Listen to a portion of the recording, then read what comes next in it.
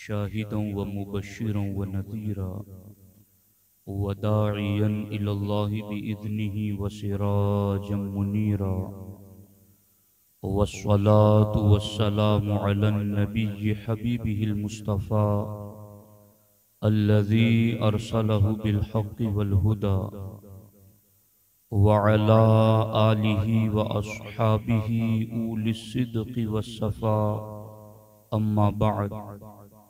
वस्सफ़ा अम्मा बअद फ़अऊज़ु बिल्लाहि मिनश शैतानिर रजीम बिस्मिल्लाहिर रहमानिर रहीम अला इन्न औलिया अल्लाहि ला खौफुन अलैहिम वला हुम यहज़नून अल्लज़ीन आमनू व कानू यत्तकून सदक़ल्लाहुल अलियुल अज़ीम व सदक़ रसूलुहुन नबियुल अमीनुल मुख्तारुल करीमुर रऊफुर रहीम आइए हम और आप मिलकर इंतहाई एहतराम अकीदत के साथ हजूर सैदुल मुरसलीन ख़ातमुल अम्बिया शफ़ीउल मुदनिबीन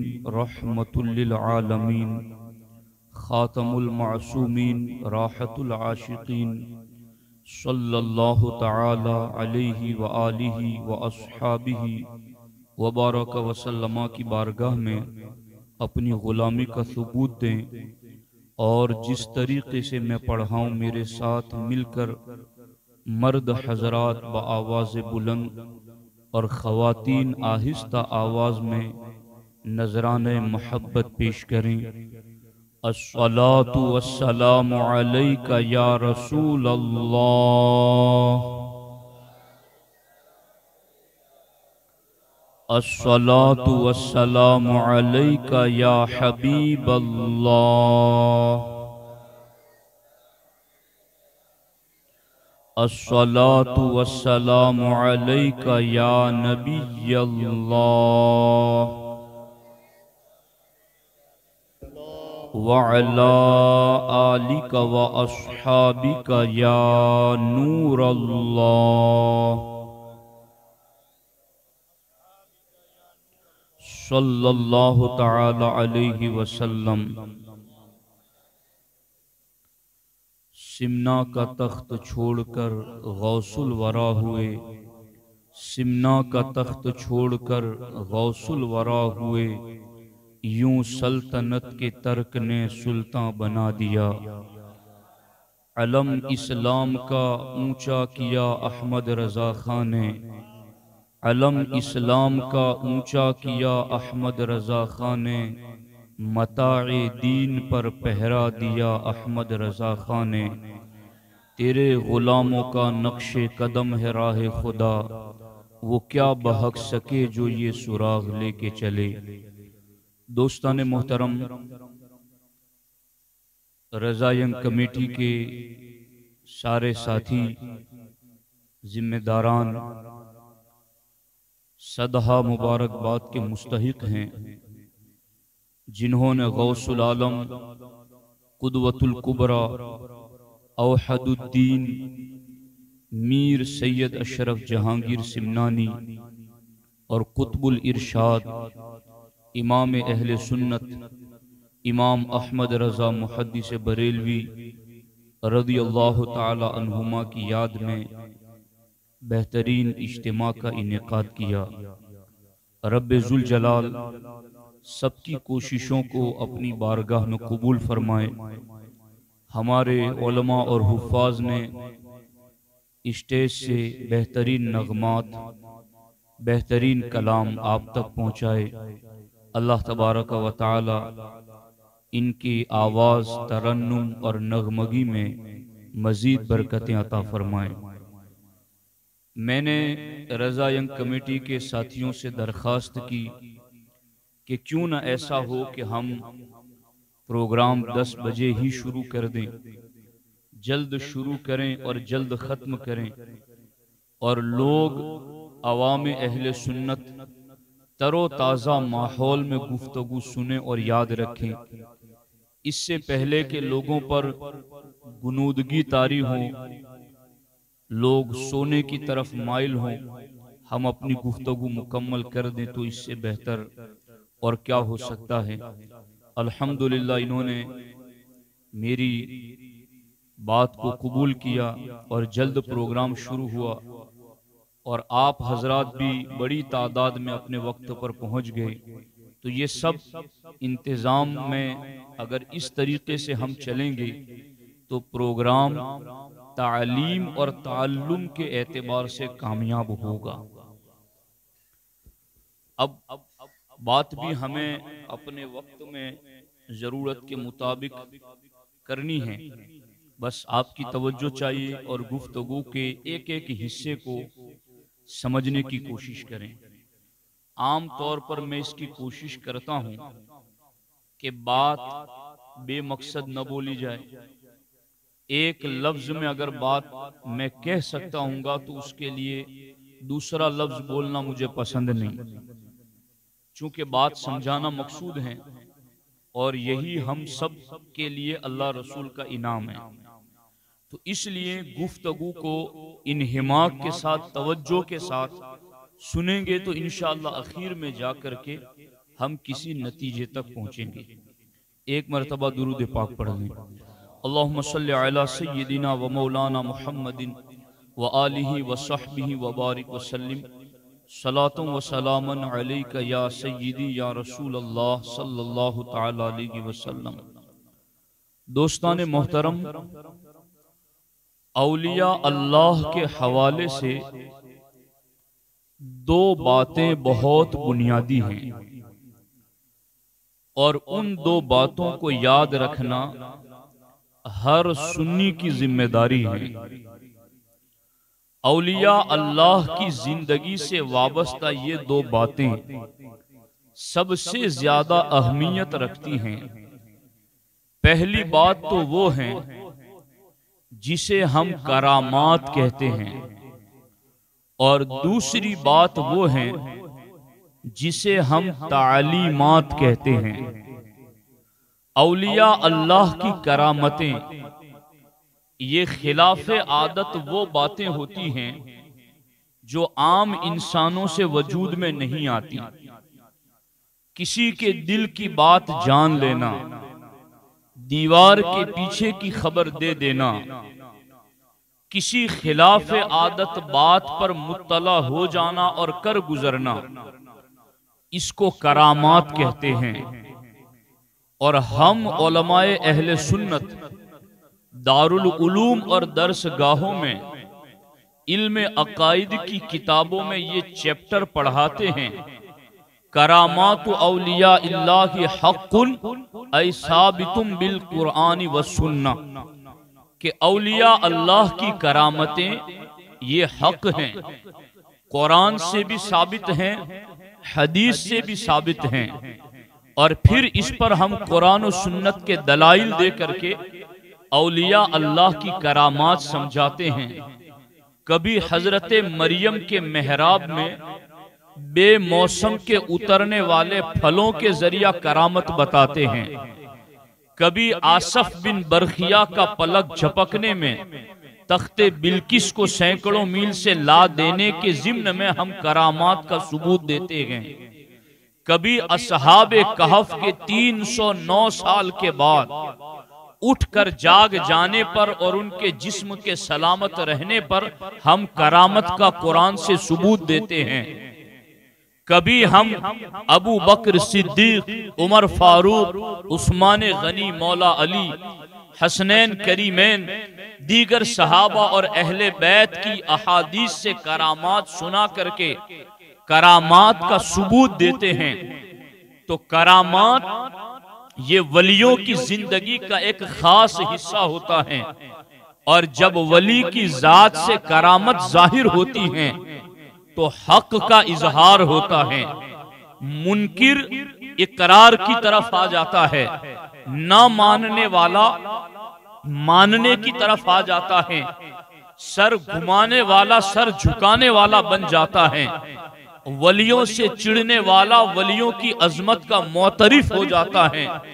अलिया अल्लाह की करामतें सुन्नी के लिए इतनी अहमियत रखती हैं। कि मैं ये समझता हूँ सुन्नी मुसलमान माँ की गोद में दूध पीते पीते ही वलियों की करामात को तस्लीम कर लेता है। माँ की गोद ही हमें वलियों का प्यार सिखाती है हमें वलियों का अदब सिखाती है। वलियों की करामात और उनकी खिलाफ आदात अतवार और उनकी करामात को हमारे जहनो दिमाग में और हमारे जमीर और की गोद ही से पिला दिया जाता है। कोई सुन्नी हो और करामत का मुनकिर हो, ऐसा हो नहीं सकता।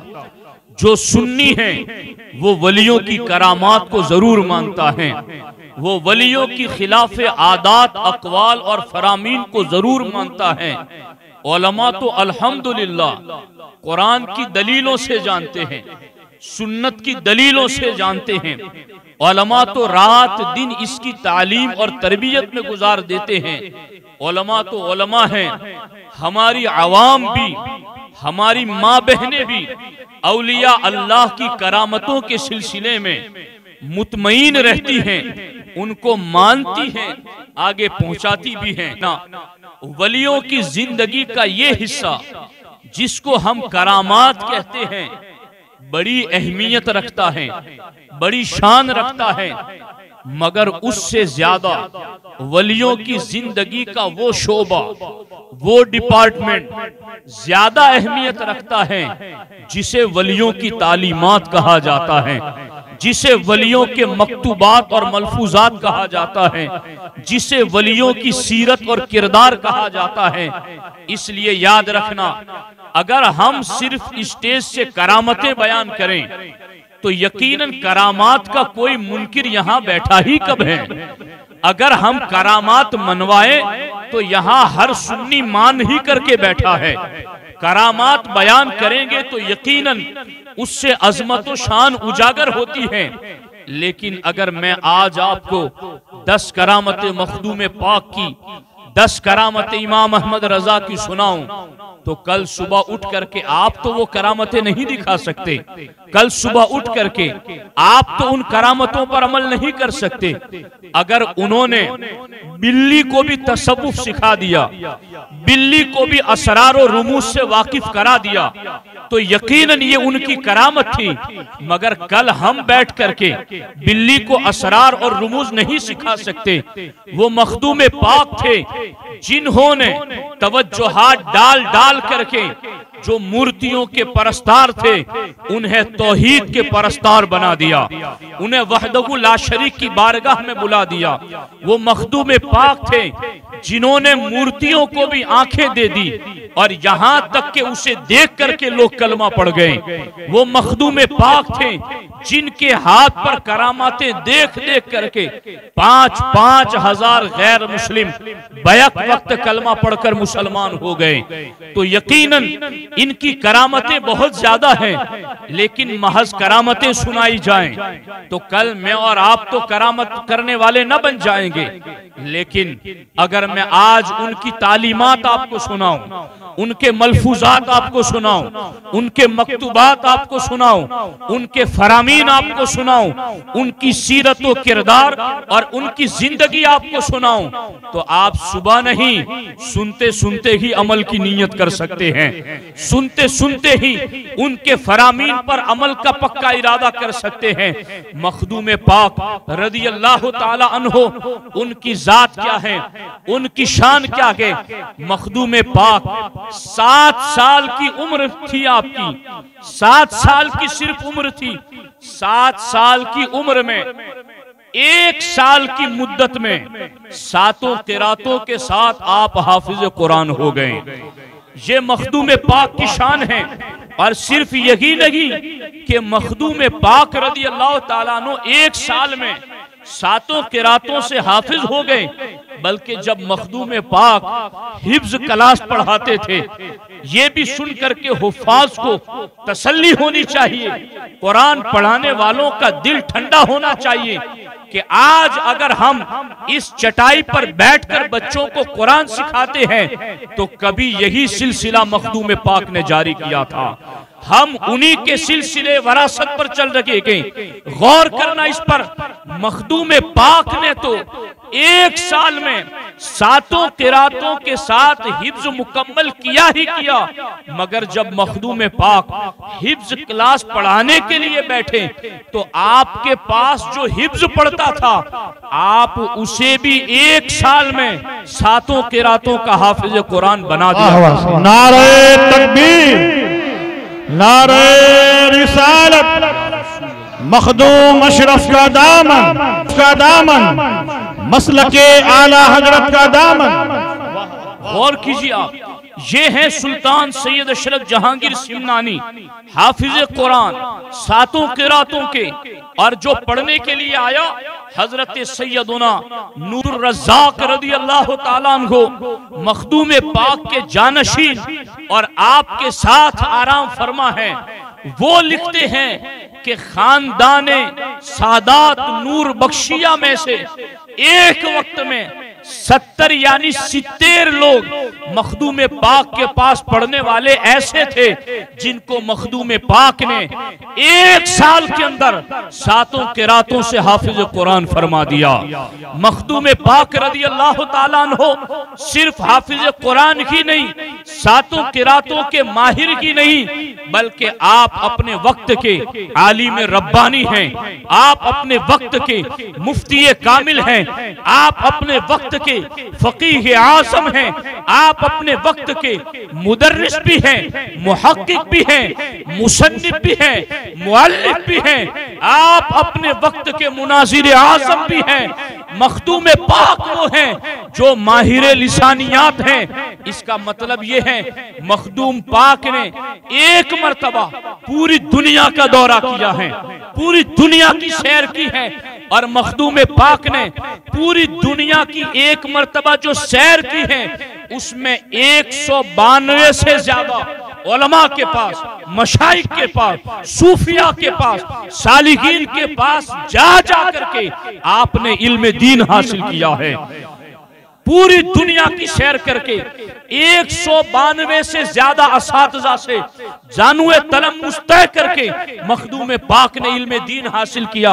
और फिर जब आप दावत तबलीग के लिए पूरी दुनिया के अंदर निकले तो आप ऐसे माहिर लिसानियात थे, जिस इलाके में जाते, उसी इलाके की ज़ुबान में किताब लिखते थे। जिस इलाके में जाते, उसी इलाके की ज़ुबान में खिताब भी करते थे। उसी इलाके की ज़ुबान में किताब लिखते, उसी इलाके के शख्स को अपनी सोहबत में रख करके अपना मुरीद और खलीफा बनाते। वही किताब खलीफा को दे करके उस इलाके में दावत तबलीग पर मामूर करके फिर आप आगे की तरफ़ तशरीफ़ ले जाते थे। ये मखदूम पाक का तरीका।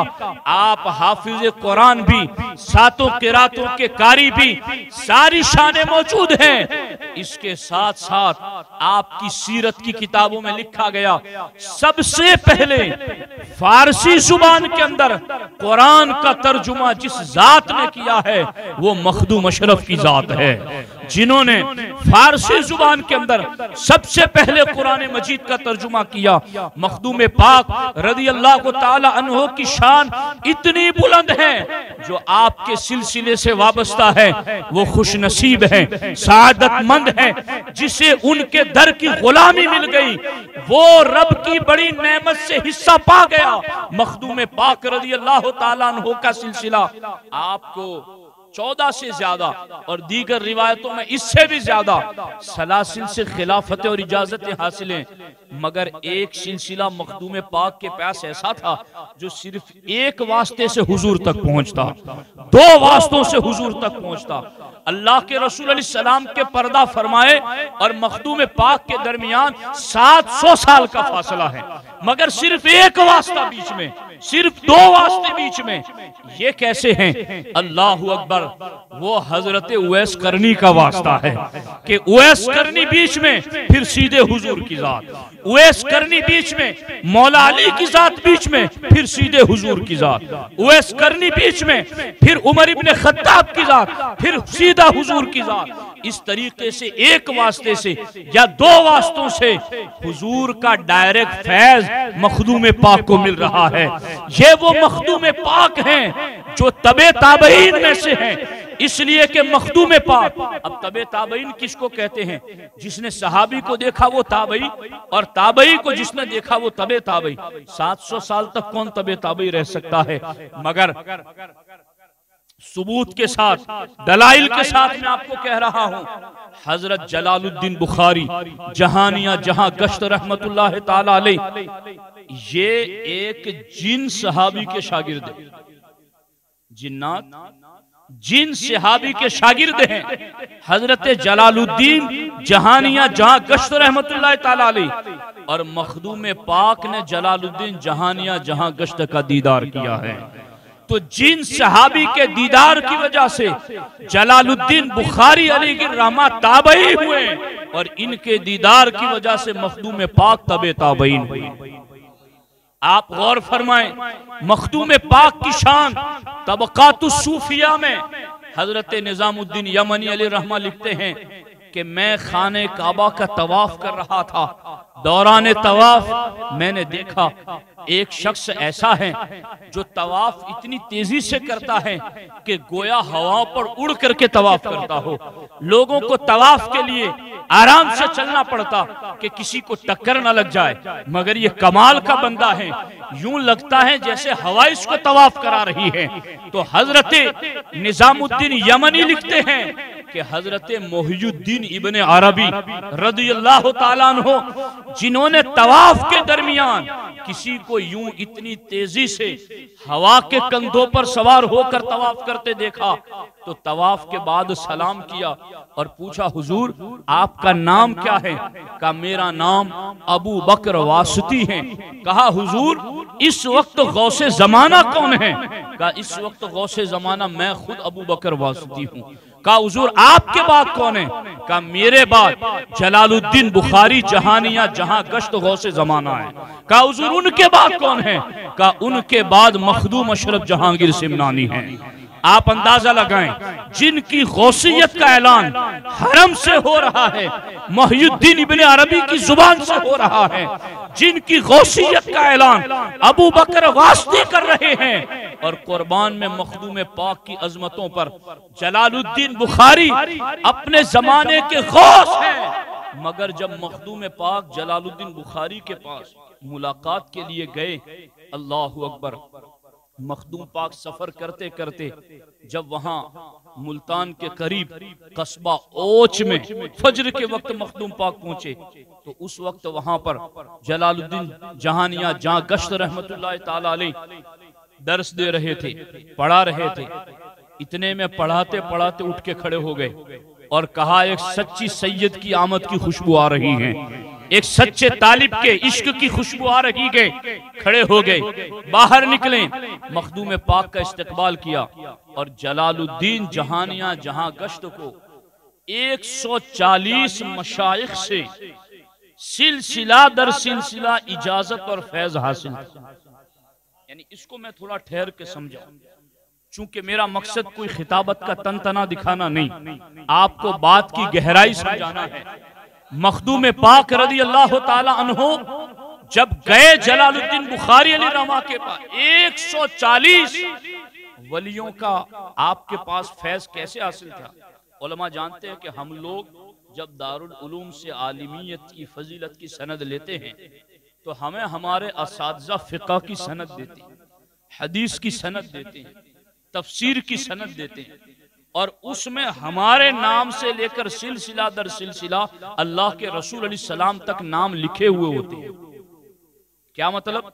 हमने फला से पढ़ा, उन्होंने फला से पढ़ा, उन्होंने फला से पढ़ा, उन्होंने फला से पढ़ा। यूँ पूरा सिलसिला हुजूर की जात तक पहुँचता है।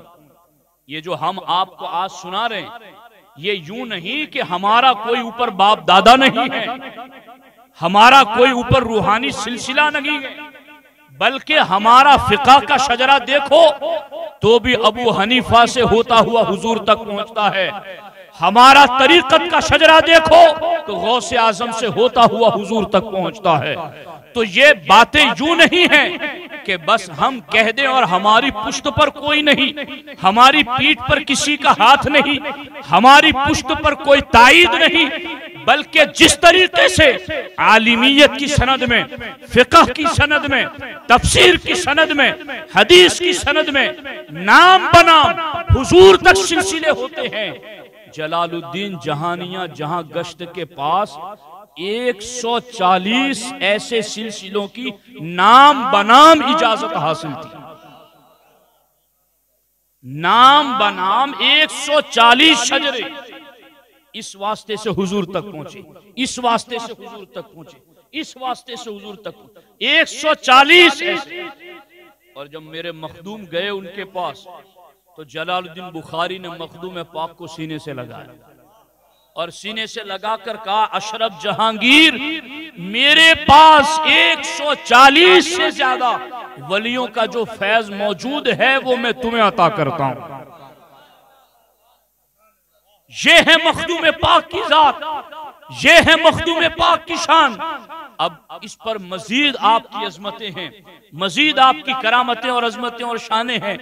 लेकिन मैं आपको बता चुका कि इससे ज़्यादा अहमियत इस बात को है कि उनकी तालीमत सुनाई जाए, उनके मलफूजात और मकतूबात सुनाए जाए।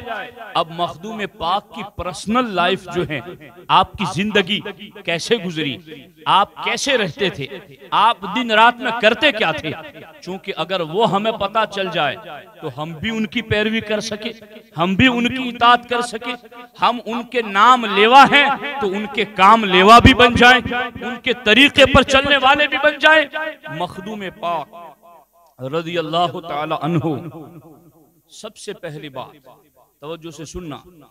मैं फतह रजिया शरीफ नहीं ला सका, लेकिन ये फतह रजिया शरीफ में बात लिखी हुई है कि पीर होने के लिए जो चार शर्तें हैं, उनमें से एक शर्त है कि वो आलिम दीन हो। एक शर्त है कि वो आलिम दीन हो। आला हज़रत इमाम अहल सुन्नत फरमाते हैं, जो आलिम दीन नहीं होगा, आज नहीं तो वो कल गुमराह हो जाएगा। इल्म दीन की ज़रूरत कितनी ज़्यादा है? एक मिसाल के ज़रिया उसको यूँ समझो, अगर आप किसी रास्ते से गुजर रहे हैं, और वहाँ अंधेरा ही अंधेरा है, रोशनी नाम को नहीं, एक बंदा चलते हुए गुजरा अंधेरे की वजह से उसका पाँव नजासत में पड़ गया। अंधेरे की वजह से उसका पाँव कीचड़ में पड़ गया। अंधेरे की वजह से एक बंदे को ठोकर लग गई गिर गया। लेकिन जब लोगों को यूँ अंधेरे की वजह से तकलीफें होने लगी। एक बंदा आया। उसने कहा रोज लोग धड़ाधड़ गिर रहे हैं। रोज लोग आकर के नजासत में पलीद हो रहे हैं। रोज आकर के लोग गंदगी में लुथड़ रहे हैं। रोज आकर के इस जगह लोगों को ठोकर लग रही है। उस बंदे ने एहसान किया और आकर के उस गली में एक बल्ब लगा दिया। एक रोशनी कर दी, उजाला कर दिया। अब क्या हुआ? अब जो भी जाता है, उसे रोशनी में सब कुछ नज़र आता है। मुझे कदम कहाँ रखना है, कहाँ नहीं रखना? मुझे यहाँ जल्दी चलना है या धीमा चलना है? मुझे दाएँ चलना है या बाएँ चलना है? वो देख लेता है। उजाले में, रोशनी में, जब उसको सब कुछ नज़र आ जाता है तो अब वो संभल संभल के चलता है। अपना पाँव गलासत तो गंदगी में नगी पड़ने देता। बस यूँ ही समझ लो, अहले सुन्नत व जमात, हमारे लिए जहालत से बड़ा अंधेरा कोई नहीं। हमारे लिए ला इल्मी से बड़ी बीमारी कोई नहीं। आज अगर अकीदे के एतबार से कोई गलासत की गंदगी में पड़ रहा है, अमल की हैसियत से अगर आज किसी का पाँव गंदगी में पड़ रहा है तो उसकी सबसे बड़ी वजह यह है कि वहाँ जहालत का अंधेरा है, वहाँ लाइलमी की बीमारी है। लेकिन हम ऐसे नहीं जिनका कोई पीर मुर्शिद न हो। हमारा मुर्शिद वलियों का शहनशाह है। हमारा मुर्शिद गौसुल आलम है जिन्होंने इन अंधेरी राहों में इल्म के चराग रोशन कर नारे तकबीर। आप गौर फरमाए मखदूम पाक ने कैसे इल्म के चराग रोशन किए? मेरे मखदूम लताइफ अशरफी में फरमाते हैं जिस बंदे को यकीन के साथ पता चल जाए कि दस दिन या एक हफ़्ता उसकी उम्र बाकी है, बस उसके बाद वो इंतकाल कर जाएगा। तो मका मुरीद है तो मैं तुझे हुक्म देता हूँ, तुझे यकीन के साथ पता चल जाए कि बस दस दिन उम्र बाकी है। तो मखदूम पाक फरमाते, मेरे मुरीद, मसाइल का इल्म सीखने में मशगूल हो जा इल्म दीन सीखने में मशगूल हो जा इल्म दीन पढ़ने में मशगूल हो जा। ये हमारे सूफिया हैं। और मखदूम पाक, जब दस दिन जिसकी ज़िंदगी में बाकी हो, उसको ये ताकीद करते हैं तो खुद आपकी अपनी शान क्या थी? मखदूम पाक फरमाते हैं, ई फकीर, मुद्दत सी साल, दर तहते कुब्बे नील मखदूम पाक फरमाते ये फकीर तीस साल तक इस नीले आसमान के नीचे, इस ज़मीन के ऊपर पुरकार की तरह गर्दिश करता रहा और जहाँ जहाँ गया, इल्म दीन हासिल करता रहा, फैज हासिल करता रहा। ये मखदूम पाक की सीरत है, ये आपकी वो ज़िंदगी है, जिस पर हम अमल करना चाहें तो कर सकते हैं, बल्कि करना ज़रूरी है। दीन का भी हुक्म है और मुर्शिद का भी हुक्म है कि इल्म दीन हासिल किया जाए। मैं तो हैरान रह गया।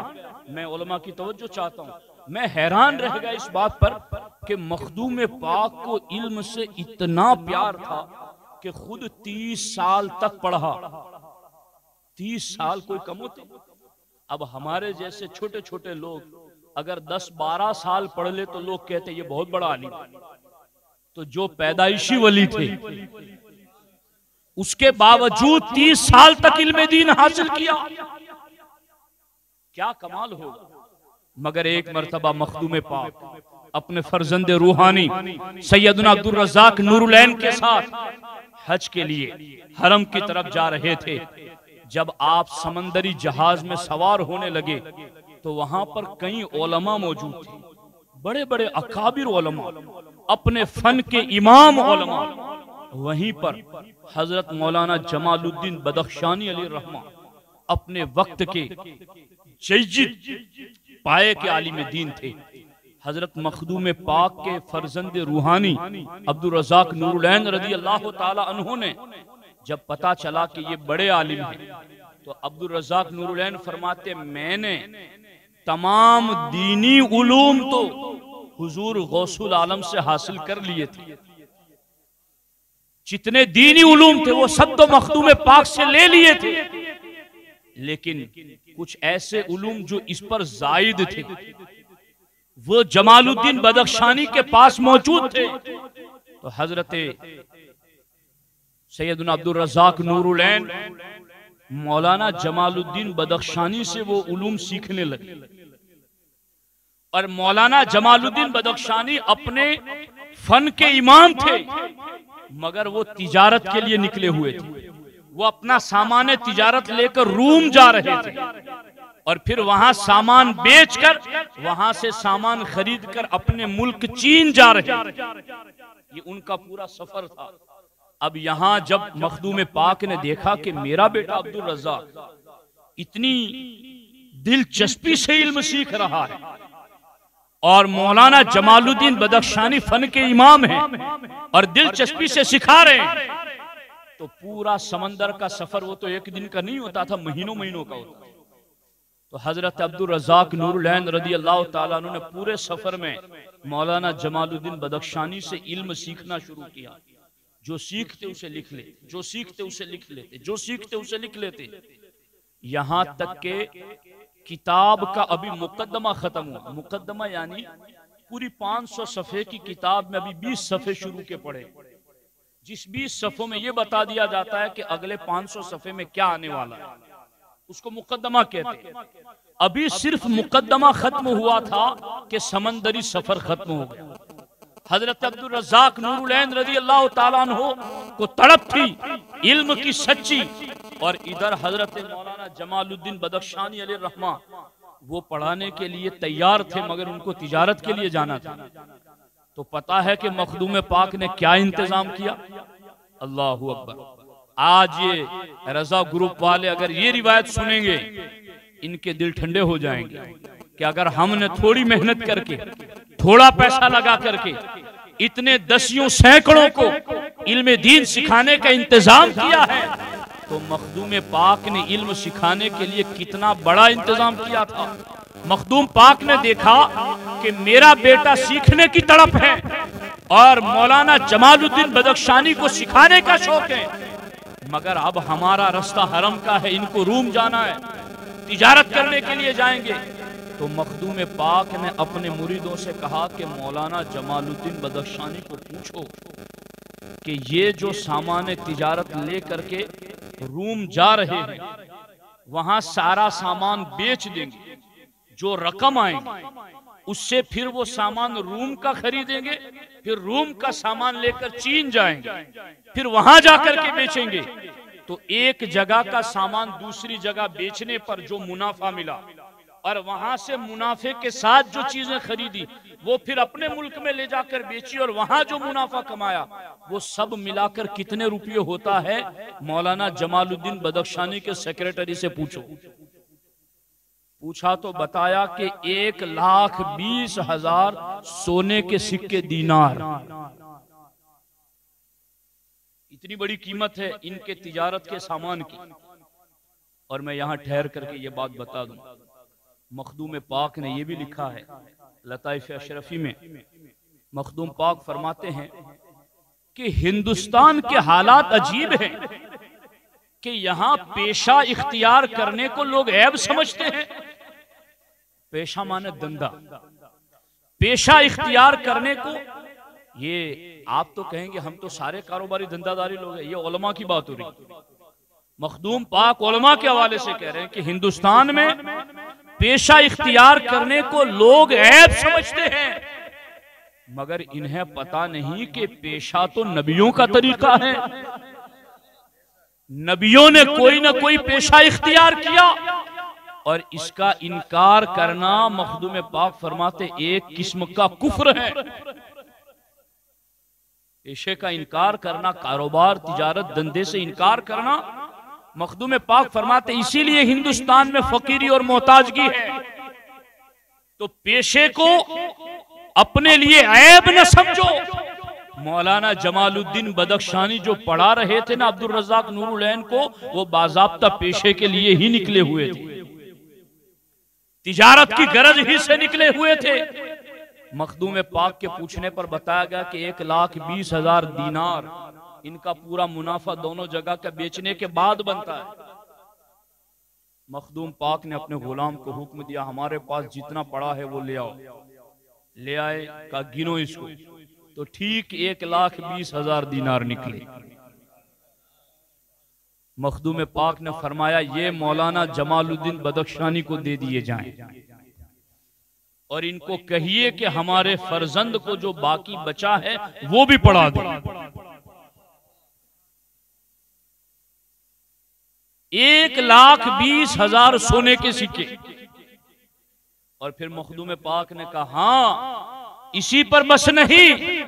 जब तुम मेरे बेटे को किताब मुकम्मल पढ़ा दोगे तो जब तुम वापस जाओगे, तब भी मैं इतना ही इनाम वापस दूँगा। इल्म की कितनी अहमियत थी? इल्म का कितना शौक था? इसीलिए मखदूम पाक लताइफ अशरफी में फरमाते, कोई जाहिल वली नहीं हो सकता। कोई बेइल्म वली नहीं हो सकता। किसी नादान को हम अपना दोस्त नहीं बनाते तो रब कैसे दोस्त बना रब जिसे वली बनाता है, उसे इल्म अता फरमाता है। वो आलिम होता है, आरिफ होता है। मखदूम पाक रज़ी अल्लाह हालाँकि मेरे मखदूम की शान क्या थी? वो चाहते तो तवज्जुहात डाल करके आलिम बना देते। और एक मरतबा हुआ भी ऐसा, जब मखदूम पाक तुर्किस्तान से सफ़र करते हुए जा रहे थे तो अमीर तैमूर, उसकी फौज में एक फौजी, जिसका नाम शेख अमीर अली बेग था, मखदूम पाक की सोहबत में आया। आपका किरदार, आपकी ज़िंदगी देखकर इतना मुतासर हुआ कि सारी हुकूमत छोड़ करके मखदूम पाक की गुलामी में आ गया। बारह साल तक शेख अमीर अली बेग मखदूम पाक रज़ी अल्लाह तला की संगत में रहा, इबादत, रियाजत करता रहा। एक मरतबा मखदूम पाक अपने फर्जंद सैदुल अब्दुल रजाक के साथ बैठे थे। और बैठकर कहा कि अमीर अली बेग ये बारह साल से हमारे पीछे चल रहा है। और अभी तक इसमें कुछ तसरुफ की शान ज़ाहिर नहीं। हुई सुन रहे हो आप? अभी तक इसमें कुछ तसरुफ की शान ज़ाहिर नहीं हुई। मखदूम पाक ने अपने फर्जन से कहा मैं देखना चाहता हूँ कि तुम्हारी तवज्जुहात कामिल हो गई है या नहीं हुई? मैं चाहता हूँ मैं बैठा हूँ। तुम शेख अमीर अली बेग पे तवज्जो डालो। और अब 12 साल खिदमत करते करते हो गए हैं, अब इसको कुछ देना चाहिए। अब इसको कुछ मिलना चाहिए। तो मखदूम पाक के हुक्म पर सैदन अब्दुल रजाक नूरुलैन रज़ी अल्लाह तु ने तवज्जो डाली। ऐसी तवज्जो डाली, ऐसी तवज्जो डाली। कि थोड़ी देर हुई कि अमीर अली बेग के चेहरे पर नूर ज़ाहिर होने लगा। विलायत के आसार ज़ाहिर होने लगे और बेखुदी में उनकी ज़ुबान से कलम तोहीद जारी होने लगा। यूँ अमीर अली बेग के ऊपर आसार विलायत ज़ाहिर हुए। तो मखदूम पाक ने जितने भी ओलमा वहाँ बैठे थे, उनसे कहा कि आज तक तो तुम ये जानते थे कि शेख अमीर अली बेग को कुछ नहीं आता। आज मेरे फर्जंद ने इस पर तवज्जो डाल दी है। अब तुम जिस फन का जो मसला पूछना चाहते हो पूछ लो। तो ये भी एक पढ़ाने की शान थी उनकी और उन्होंने पढ़ाया है। मगर हर कोई तो इस तरीके से पढ़ नहीं सकता।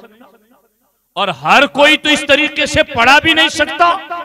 तो मखदूम पाक ने वो तरीका भी बताया अपने मुरीदों के लिए कि जो किसी उस्ताद के पास बैठकर पढ़ा जाता है। तो दोस्तों, इल्म दीन हासिल करो। ये मखदूम पाक का पैगाम है और जहालत का अंधेरा दूर होगा, इल्म की रोशनी आएगी, अकीदे की भी समझ आएगी, बदअकीदगी की भी समझ आएगी, अमल की भी समझ आएगी, बदअमली की भी समझ आएगी। इसलिए इल्म दीन हासिल करो। ये मखदूम पाक रदी अल्लाह तु की ज़िंदगी का एक पैगाम है। और दूसरी बात, हज़रत मखदूम पाक रदी अल्लाह तु फरमाते हैं, बहुत अहम बहुत अहम है, हर कोई याद रखे। और ये बात ऐसी है जो याद रख करके जिसने गिरा बाँध लिया इनशाला उसकी कब्र भी खुशबूदार हो जाएगी। मखदूम पाक फरमाते, इस ज़मीन के ऊपर और आसमान के नीचे। अल्लाह की सबसे बड़ी नेमत अगर इंसान को कोई मिली है तो वो है अहले सुन्नत व जमात होना।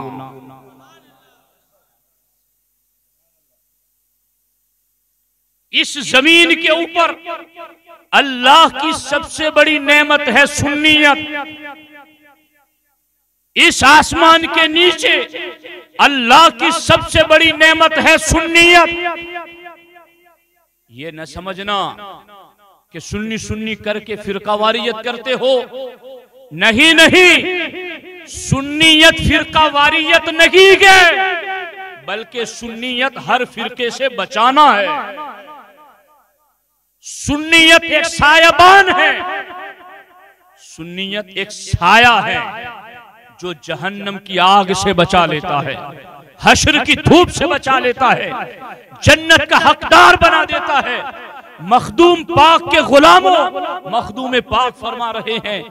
इस ज़मीन के ऊपर अल्लाह की सबसे बड़ी नेमत। अगर कोई है तो वो सुन्नियत है। सबसे बड़ी नेमत। और मखदूम पाक ने यहाँ लताइफ अशरफी में इमाम रूमी के अशार लिखे। इमाम रूमी के अशार लिखे। मखदूम पाक रज़ी अल्लाह तु लिखते हैं, अपने लताइफ अशरफी के अंदर, के वो शख्स कितना खुशनसीब है कि जिसको अल्लाह रब्बुल इज़्ज़त ने खुश नसीबी से अहले सुन्नत व जमात बनाया। आकस वो शख्स कितना बड़ा खुशनसीब है दर सुन्नत जमात बुअत, के जो अहले सुन्नत व जमात से ताल्लुक रखता है। क्यों? मनासिब नीस्त वाला जी शियारस, मनासिब नीस्त वाला जी दिसारस। मखदूम पाक फरमाते हैं, सुन्नी होने से दुनिया में बड़ा कोई मनसब नहीं। सुन्नी होने से बड़ा दुनिया के अंदर कोई मर्तबा नहीं। मखदूम पाक फरमाते हैं जो इस सुन्नियत की राह से बाल बराबर हट गया। मखदूम पाक फरमाते उससे बड़ा इस दुनिया में कोई महरूम नहीं। सरे मुँह अज रहश सैयार बाशक के जो सुन्नियत की राह से बाल बराबर भी हट गया उससे बड़ा महरूम कोई नहीं। इसलिए याद रखना अहले सुन्नत व जमात ये सबसे बड़ी नेमत। है इसको मजबूती से थामे रखना है। इस पर कायम रहना है। और कभी कभी ये बात सुन करके मुझे हैरत होती है जब कोई सुन्नी शख्स और बाजाबता पीर होने का दावेदार या सूफी होने का दावेदार और वो ये कहें कि हम इन फिरकों में नहीं पढ़ते हम सबसे मिलते हैं। हमारा ताल्लुक सबसे है, हम इन झगड़ों में नहीं पड़ते। तो मैं ऐसे तमाम लोगों को मखदूमी चराग जला करके इस अंधेरे की रोशनी अता कर रहा हूँ और उन तक मखदूमी पैगाम पहुँचा रहा हूँ। हज़रत मखदूम पाक ने लताइफ अशरफी के अंदर लतीफा नंबर तैतीस, वो पूरा चैप्टर मखदूम पाक ने लिखा ही है। बहत्तर जहन्नमी फिरकों के बारे में। मखदूम पाक ने सबसे पहले उस चैप्टर के अंदर हदीस पाक लिखी कि हमारे नबी ने फरमाया कि मेरी उम्मत तिहत्तर फिरकों में बढ़ जाएगी, बहत्तर जहन्नम में जाएँगे एक जन्नत में। और वो एक जो जन्नत में जाएगा वो अहले सुन्नत व जमात है। मखदूम पाक ने उस एक को भी बताया और बाकी बहत्तर के बहत्तरों को बताया। अब अगर कोई ये कहे कि मैं सूफी हूँ, इनमें नहीं पढ़ता तो मखदूम पाक से बड़ा तो कोई सूफी नहीं है। मखदूम पाक से बड़ा तो कोई शेख नहीं है। मखदूम पाक से बड़ा तो कोई आलिम नहीं है। मखदूम पाक से बड़ा तो कोई पीर नहीं है। और हम तो ये मखदूम पाक की तालीमत पढ़ के फिर कहते हैं, कैसे आकाओं का बंदा हूँ रजा? बोल बाले मेरी सरकारों के। और क्या दबे जिस पे हिमायत का हो पंजा तेरा? शेर को खतरे में लाता नहीं कुत्ता तेरा। गौर करना इस मकाम पर। और मैं यहाँ, हाफिज गुलाम साहब, आपकी वसात से ये बात भी कहना चाहता हूँ। मुझे अफसोस है इस बात पर। अभी उर्स मखदूमी में हमारे एक दोस्त गए थे। तो मैंने उनके पास लताइफ अशरफी मंगवाई। हालाँकि मेरे पास मौजूद थी, लेकिन फिर भी मैंने एक नया एडिशन मंगवाया।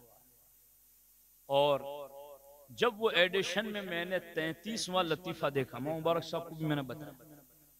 तैतीसवा लतीफा जिसमें मखदूम पाक ने इन फिरकों की बात की है, खुदा की कसम कोई देखना चाहे, मैं दिखा सकता हूँ। उस पूरे चैप्टर से ये बहस ही गायब कर दी गई।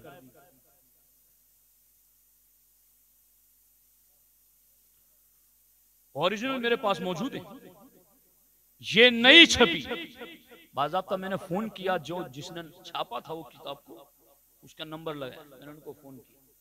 बादब तरीके पर मैंने उससे पूछा कि, हुजूर वाला, मेरे पास खुद एक किताब मौजूद है और ये किताब जो आपकी एडिशन से छपी है उसमें ये लिखा है, नीचे काउंस में नोट लिख दिए मुरत्तिब ने कि चूँकि इस बहस की आवाम को ज़रूरत नहीं थी, इसलिए इस बहस को हमने खारिज कर दिया। ये नीचे नोट लिख करके पूरा चैप्टर गायब कर मैंने फ़ोन करके कहा कि आवाम ये किताबें पढ़ती, ये किताबें तो ओलमा पढ़ते। और पूरी किताब आपने 500 सफे की लिखी है, वहाँ आपको कोई हरज ना, इसी चैप्टर को आपने गायब कर दिया। अब जिस जिसके पास वो पुरानी किताब नहीं होगी ये नहीं होगी तो वो क्या समझेगा? यानी कितना बड़ा धोखा है। तालीमत सूफिया के साथ तालीमत अलिया अल्लाह के साथ इसको समझने की ज़रूरत है। मैंने बाजाबता उनको फ़ोन करके कहा कि ये खुदारा ऐसा ना करें। रहम करें उम्मत की बुज़ुर्गों की तालीमत पहुँचा सकते हो तो सही तालीमत पहुंचाओ। पूरा चैप्टर अब मुझे आप बताओ, कोई बंदा बदकीदा होगा तो हमारे नबी सलाम फरमाते हैं, उसका कोई फ़र्ज़ और नफल कबूल नहीं होता। है और बदअकीदगी से बचाने वाला पूरा चैप्टर ही गायब कर दिया। तो खैर, किताबों में भी यूँ हो रहा है और खिताबों में भी यूँ हो रहा है। मगर मैं आधी अधूरी बात करने का आदि नहीं हूँ। बात पूरी करूँगा और बात ऐसी कि जिससे आपका ईमान और अकीदा बच सके। गौर करना यहाँ पर। मखदूम पाक ने फरमाया इस ज़मीन के ऊपर आसमान के नीचे। अगर अल्लाह की सबसे बड़ी नेमत है तो वो कौन सी नेमत है? एक मरतबा आपकी ज़ुबान से मैं सुनना चाहता हूँ कौन सी नेमत है? सुन्नियत। इस ज़मीन पर अल्लाह की सबसे बड़ी नेमत कौन सी है? कौन सी है? कौन सी है? सुन्नियत। ये ज़मीन पर सबसे बड़ी नेमत। और चूँकि जशन इमाम अहमद रजा का भी साथ में है तो मैं आला हज़रत की बात तो बड़ी लंबी नहीं कर सकता, लेकिन इतनी बात ज़रूर कर सकता हूँ कि जिस सुन्नियत को मखदूम पाक ने सबसे बड़ी नेमत करार दिया उसी सुन्नियत के अहमद रजा इमाम अहल सुन्नत है। मुझ जैसा कोई मौलाना, कोई पीर, कोई शेख, कोई बुज़ुर्ग आपके पास आए, आप उनसे कोई मसला पूछे, कोई अकीदा पूछे, कोई अमल पूछे, मामूलात अहल सुन्नत में से या अकायद अहल सुन्नत में से तो जिस सुन्नियत को मखदूम पाक ने अहल सुन्नत की सबसे बड़ी अल्लाह की नेमत कहा आप उस पीर आलिम शेख से बस इतना कहें कि ये जो आप अकीदा या मसला बता रहे हैं इस बारे में हमें सिर्फ़ इतना बताए कि इमाम अहमद रजा ने इस बारे में क्या लिखा है? कहीं इधर उधर की ना सुनो। हमें ये वो न करो।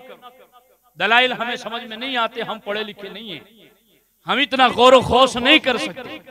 आप हमें और बातें न सुनाओ। हमें इमाम अहमद रजा का अकीदा बता दो।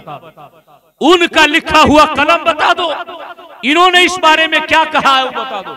अगर आज के इस इज्तिमा से आपने माज ये दो बातें याद कर ली। कौन सी?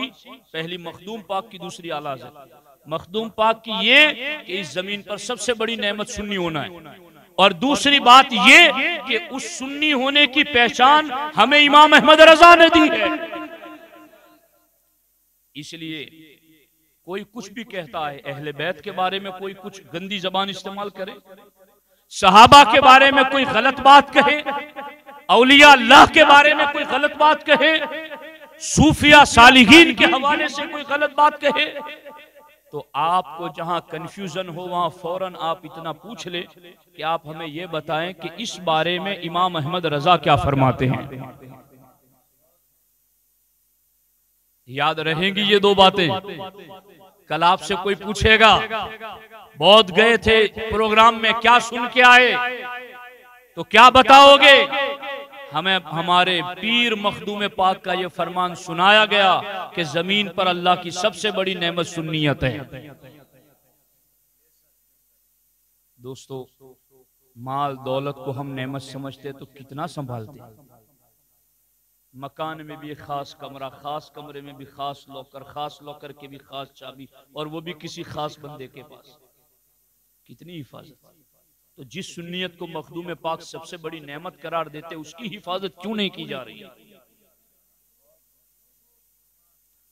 समझने की ज़रूरत है। अगर दो जेब में दस दस हज़ार रुपये होना तो बंदा ऐसे बंदे के पास बैठने से डरता है जो चोर उचक्का है। जेब कतरा है। उसके पास जाते हुए डरता है मेरे जेब में दस बीस हज़ार रुपए। थोड़ी सी तवज्जो हटेगी ये जेब काट लेगा। इमाम अहले सुन्नत इमाम अहमद रजा मोहद्दी से बरेलवी अली रहमा। इसीलिए इरशाद फरमाते सूना जंगल रात अंधेरी। छाई बदली काली है। सोने वालों, जागते रहियो, चोरों की रखवाली है। आँख से काजल साफ़ चुरा ले, या वो चोर बला के हैं। तेरी गठड़ी ताकी है और तूने नींद निकाली है। चोर इतने बला के हैं कि आँखों का काजल भी चुरा ले, तुझे पता ना चले। यानी एक तो है ना कि आदमी कैसी भी भर नींद में सोया हो, मगर आँख खोल करके देखे तो तो जाग जाए। मगर आला फरमाते, ये वो बला के चोर है कि आँखों से काजल भी चुरा लेंगे तो तुझे पता ना चलेगा। आँख से काजल साफ़ चुरा ले, या वो चोर बला के तेरी गठड़ी ताकी है। ताकी मतलब ताकना। मुझे क्या ताक रहा यार? ताकना मतलब देखना, गुर गुर के बिल्कुल नज़र जमा के। आला फरमा तू जो गठड़ी ईमान की लेके जा रहा है ना, तेरी गठड़ी ताकी है। तेरी गठड़ी पर ताक लगा के चोर बैठा है। चोर बड़ा माहिर है। आँख से भी काजल चुरा ले तो पता न चलने दे ऐसा चोर है। तेरी गठड़ी ताकी है और तू कमाल का है कि तूने नींद निकाली है। तू ये कह रहा है कि मुझे नींद आ रही है। गौर करना। इसलिए साफ़ शरीह आपको बता रहा हूँ कि सबसे बड़ी नेमत इस ज़मीन पर क्या है? सुन्नियत। और उस सुन्नियत सबसे बड़ी नेमत की हिफाजत के लिए पैसे हैं जेब में। तो चोर उचक्के के पास नहीं बैठता। ईमान है दिल में तो बदअकीदे के पास क्यों बैठे? बद मज़हब के पास क्यों बैठे? और याद रखना, मैं अगर अभी मेरे पास फतेह रजिया शरीफ होती तो मैं तुम्हें खोल खोल के दिखाती। पढ़ के सुनाता मगर मुझे याद है आला हज़रत ने सैकड़ों मकाम पर यह लिखा है कि अपने आप पर मुतमईन होकर ना बैठना कि मैं तो बड़ा स्ट्रोंग सुन्नी हूँ। किसी बदअकीदे के पास बैठने से मुझे कोई फ़र्क नहीं आएगा। आला हज़रत फरमाते हैं बड़े बड़े पढ़े लिखों का ईमान इसमें चला गया। जब दुनिया के चंद खोटे सिक्कों को बचाने के लिए चोर उचक्कों से बड़े दूर रहते हैं। तो अहले सुन्नत जो अल्लाह की सबसे बड़ी नेमत है उसकी हिफाजत के लिए भी बद अकीदा चोरों से ऐसे ही दूर रहा और अगर कोई अपनों के लिबास में आए तो फिर मैंने आपको कहा कि आला हज़रत का फार्मूला अपनाओ। कहो उनको कि ये जो बात आप बता रहे हैं हज़रत मौला अली के बारे में, हज़रत अबू बकर सिद्दीक के बारे में, हज़रत उमर के बारे में, हज़रत उस्मान के बारे में, सैयदा तैयबा ताहिरा खातून जन्नत के बारे में, हज़रत अमीर मुआविया के बारे में माशा सिद्दीका के बारे में। हुजूर, जो ये आप बात बता रहे हैं, हमें ये बताएँ कि इस बारे में इमाम अहमद रजा ने क्या लिखा है।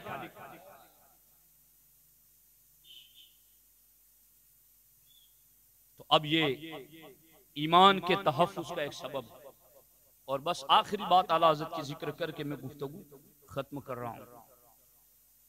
सरकार आला हज़रत फरमाते ए सुन्नी मुसलमान, अल्लाह व रसूल से ज़्यादा तेरा भला चाहने वाला कोई नहीं। अल्लाह रसूल से ज़्यादा तेरा भला चाहने वाला कोई नहीं। इसलिए तू अल्लाह व रसूल के अहकाम ही में अपना भला समझ। अब एक तरफ़ दीन का फैसला हो, एक तरफ़ हमारी अपनी मर्ज़ी कुछ कह रही हो तो वहाँ इम्तिहान होता है कि हम किधर जाना चाहते हैं। अल्लाह रसूल के फैसलों पर अपना सर झुका इमाम अहले सुन्नत, इमाम अहमद रजा के बारे में ये बात एक बहुत अहम अमल के हवाले से फिका की सारी किताबों में ये लिखा है कि अगर कोई मुफ्ती और फकीह ऐसा हो